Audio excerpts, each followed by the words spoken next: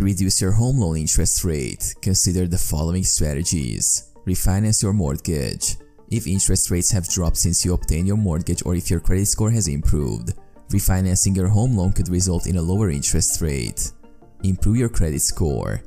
Lenders often offer better interest rates to borrowers with higher credit scores. Paying bills on time, reducing debt, and maintaining a low credit utilization ratio can help improve your credit score.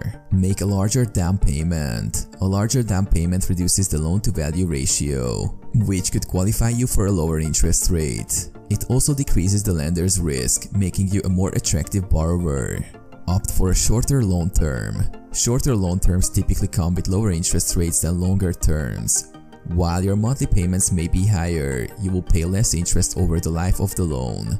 Pay points upfront. Consider paying discount points upfront to lower your interest rate. Each point typically costs 1% of the loan amount but can reduce your interest rate by a certain percentage. Shop around for lenders. Different lenders may offer varying interest rates and terms. Compare offers from multiple lenders to find the most competitive rate for your financial situation.